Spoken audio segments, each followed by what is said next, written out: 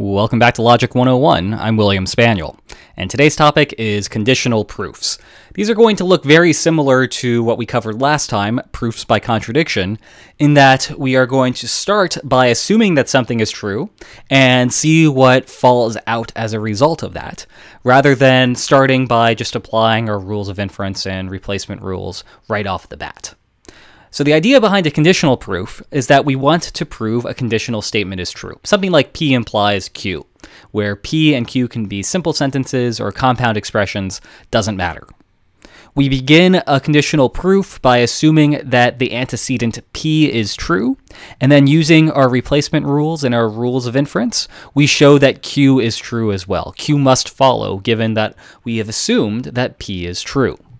Now, the reason that this works is that conditional statements tell us what must follow given that the antecedent is true. So we're sparing ourselves a little bit of hassle by going ahead and starting out by assuming that the antecedent is true and seeing where that takes us. We are literally showing that an if then statement holds. If we assume that this is true, then this other thing must be true as well.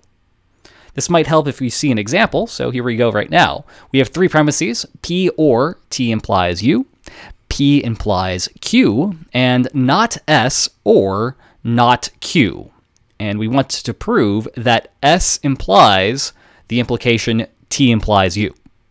So we have a conditional statement in the conclusion here. Actually, we have two different conditional statements. We have one inside the parentheses and one outside of the parentheses. And so we need to be proving the overall statement here, which means we're caring about the statement that's on the outside of the parentheses, not what's on the inside. So we're going to begin our conditional proof by assuming that S is true. So line 4, S, and the justification for this is that we have an assumption for a conditional proof. Notice that I have indented this line just as I would in a proof by contradiction. And the reason that I'm doing that is because anything that we show in this line as being true, we can't show as being true overall. All of the stuff that we show inside of the indentation is true as a result of us assuming that S is true, or at least the way we're justifying it is based off of having S being true. But if we've done that, we can go through this indented line as we would normally, using rules of inference and rules of replacement. So if we have S as being true, well, else, what else do we see? Hmm. Well, I see something. Why don't you pause this video for a moment and see if you can figure out how to do the rest of this proof, remembering that we want to ultimately conclude here that the consequent is true, given that we have assumed that S is true. So go ahead and pause the video for right now, and if you're ready for the answer, let's go ahead and see it. If you have an answer, please put it in the comment section. But if not, let's show what's what's actually going on here. So we have S as being true, and that means that through lines 3 and 4, using disjunctive syllogism, we know that not Q is true. That's because S is true, and so if not S or not Q is true, and we know that not S is not true, then it must be that not Q is true. If we have that not Q is true, what else do we see? Well, using lines 2 and also line 5, we can use modus tollens to back out that not P is true.